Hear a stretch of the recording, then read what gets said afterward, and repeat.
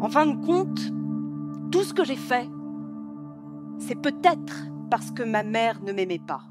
La justice a été la grande affaire de ma vie.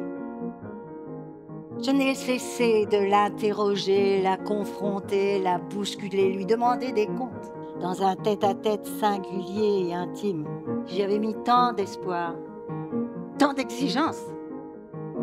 Et sur cet engagement s'est greffé le poids de ma vie personnelle, car ma vie de femme fait partie de tous les actes importants de mon métier. Au centre de torture du casino de la Corniche à Alger, où des militaires m'avaient jeté dans une cellule et où j'ai attendu mon exécution en pensant à mes petits garçons de 3 et 6 ans. J'emportais ma vie dans les prétoires et toute ma colère. Je crois que le ressort, c'est la révolte.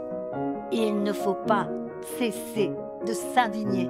J'entendais la foule crier Nous avons tout avorté Libérez Marie-Claire L'Angleterre pour les riches La prison pour les pauvres Mais ça porte, vous savez. Le combat est une dynamique.